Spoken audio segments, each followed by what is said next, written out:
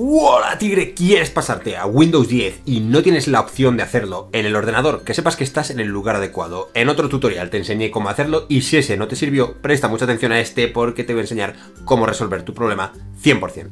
En este caso, en el tutorial anterior, lo que hicimos fue irnos directamente a Windows Update, que tiene que estar por aquí. Vámonos a Windows Update Settings.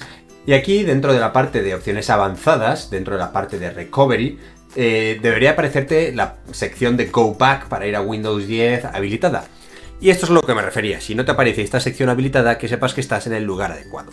Lo que vamos a hacer directamente es abrir el buscador. Vamos a abrir Google Chrome. Vamos a abrir una pantalla. Vamos a abrir una pantalla cualquiera y vamos a poner directamente descargar Windows 10. Entonces, ya estamos aquí. Obviamente tenemos que ir a la página oficial de Microsoft. Y lo que vamos a hacer es irnos a centro de descarga de Windows 10, ¿vale?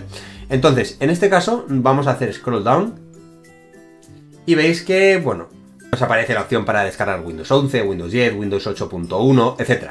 Vamos a hacer clic sobre Windows 10 directamente y dice, antes de actualizar, consulte el estado de información de la versión Windows para saber si hay algún problema conocido y confirmar que no afecta a su dispositivo, ¿vale? Bueno, puedes confirmarlo, obviamente, pues obteniendo un, un estado de tu ordenador y ver si es compatible, te lo recomiendo que lo hagas. En este caso sí que lo es porque mi ordenador se convirtió directamente desde Windows 10 a Windows 11, o sea, sé que es compatible, de hecho sé que mi ordenador, por ejemplo, funciona mejor en Windows 10. Y ya sería cuestión de que le dices actualización de Windows 10 versión 22H2. El asistente de actualizaciones puede ayudarte a actualizar el sistema. También te dice, estás deseando instalar Windows 10. Eso es lo que nos interesa a nosotros.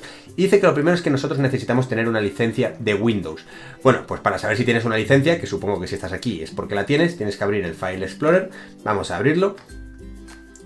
Y una vez lo tienes abierto, nos vamos a ir a la parte de mi PC, hacemos clic derecho aquí y le vamos a dar directamente a Properties para que se nos abra esto de aquí, que básicamente es sistema. Aquí nos aparece obviamente nuestra licencia de Windows con la actualización, con la edición que tenemos, Windows 11 Enterprise, etc. Bueno, pues una vez ya tienes confirmado que tienes eh, tu licencia aceptada, te vas otra vez al buscador y le vas a dar a descargar la herramienta para instalar Windows 10. Entonces se te va a abrir esto de aquí, vámonos a la carpetita y una vez estamos en la carpetita le vamos a dar botón derecho del ratón y ejecutar como administrador. O sea, yo lo tengo en inglés que es como Run as Administrator, le damos y una vez le damos, le damos a que sí y se empieza a ejecutar para instalar Windows 10. Entonces, algo importante de esta actualización que nosotros vamos a hacer, de esta instalación, es que nosotros no vamos a conservar ningún archivo, por eso vamos a tener que hacer previamente una copia de seguridad para no perder absolutamente nada de lo que estamos haciendo. Y esto es muy importante si queremos conservar documentos, archivos, PDFs, etc. Evidentemente aquí tienes que sopesar si te merece la pena actualizar a Windows 10 o no, porque está la posibilidad de que pierdas archivos que a lo mejor te merecen la pena.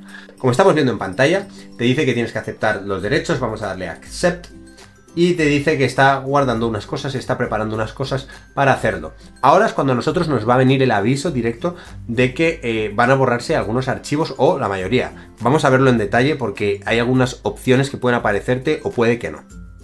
Por eso, mientras esperamos, vas a suscribirte, darle un super like y dejar en los comentarios si tienes dudas o seguirme en Instagram, que también te lo dejo en el primer comentario, me cago en todo. Bueno, aquí te dice que qué quieres hacer, que si quieres hacerlo ahora o quieres eh, hacerlo, bueno, para otro PC, en este caso, pues hacerlo en un USB, vamos a darle ahora. Y ahora ya sería cuestión de que tú elijas dentro de estas opciones que vas a ver a continuación, la que a ti más te convenga. Evidentemente no puedo enseñarlo porque mi PC ya se ha puesto a instalar el Windows 10, con lo que no puedo capturar la pantalla. Por eso, si te ha servido el vídeo, dale un super like, mira este otro vídeo para aprender cosas nuevas, o suscríbete aquí para tener los mejores tutoriales dentro.